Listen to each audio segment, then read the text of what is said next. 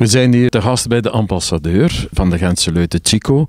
Terug weer de Kolderbrigade, een herhaling van uh, verleden jaar? Uh, nee, geen herhaling. Totaal nieuwe twee afleveringen niet meer spelen. Dus per deel is het een afgewerkte aflevering. Uh, verleden jaar hebben we ook de Kolderbrigade gespeeld tijdens de Gentse feesten.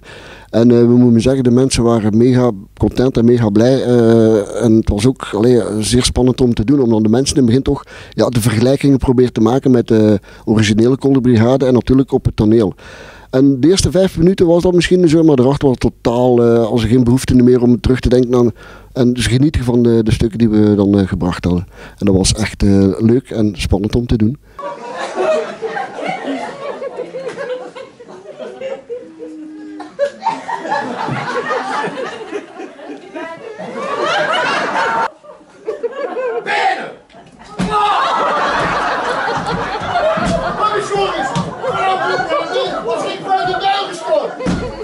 Dus een volledig nieuw stuk, maar ik, ik heb eigenlijk mijn bedenkingen, de Gentse Leuten, nu overschakelen naar revue.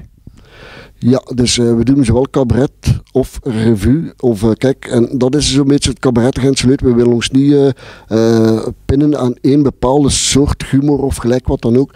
Dus, dus alle jaren proberen we de mensen te, te overtuigen dat we het anders ook kunnen.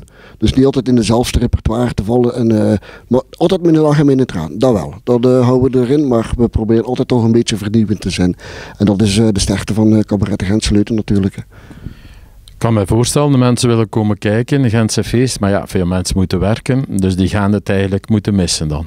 Wel, eh, toch niet. Uh, we zijn ook een beetje vooruitstrevend uh, denkend, uh, om te zo noemen. In september spelen we nog extra speeldagen. Dus voor de mensen die tijdens de Gensfeest op reis willen gaan, die kunnen gerust op reis gaan. Maar als ze moeten komen kijken in september dan, hè, er is er mogelijkheid. Ziet Gulden zeten? Zal maar zijn, de Kolderbrigade, Zet de bak onder, zet de van achter. Remig bak onder, het van en die gestoord. Zet de bak zet de van